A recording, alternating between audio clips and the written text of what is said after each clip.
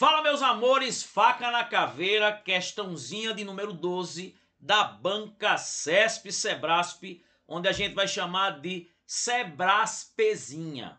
Vamos lá, de olho na tela. Gente, essa questão aqui, tá? A questão de número 12, tá? É uma questãozinha sobre conceito de proposições. Ela diz o seguinte, ó, considera as seguintes construções. No que se refere à lógica proposicional, que pode ter o nome de lógica formal, lógica aristotélica, tá?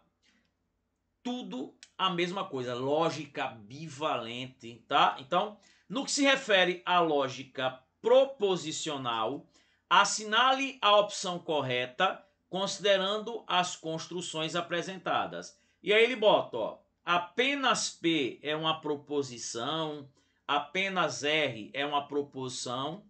Galera, deixa guardado, ó, dica de peso.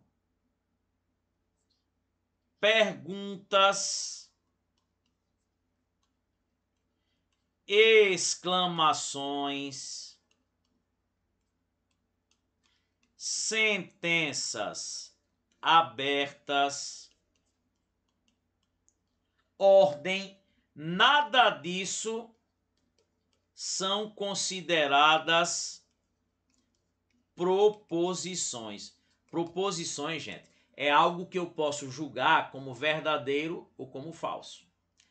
Tem que ter sujeito, predicado, tem que ter verbo, tem que ter sentido completo. Então, sentença aberta, por exemplo, ó, não é proposição.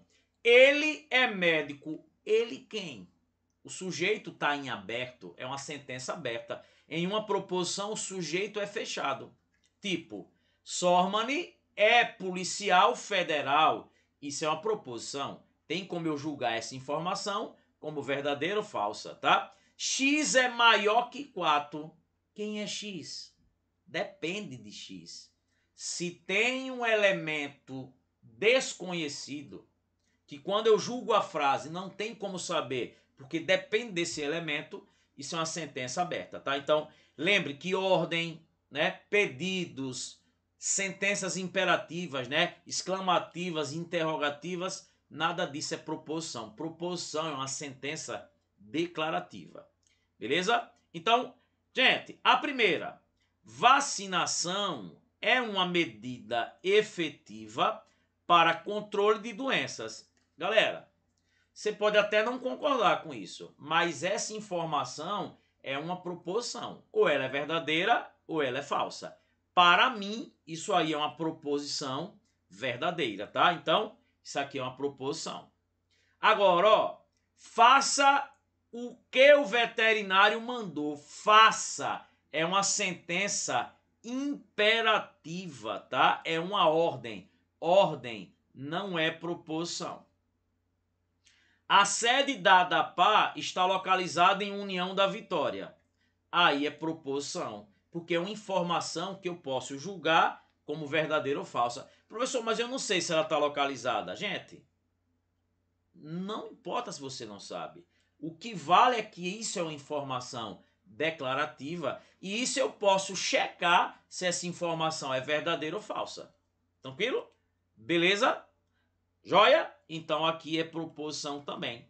Então, proposições P e R, ó. P e R são proposições. Letra D de delícia. Depois voltamos com mais dicas. Um beijão. Fui.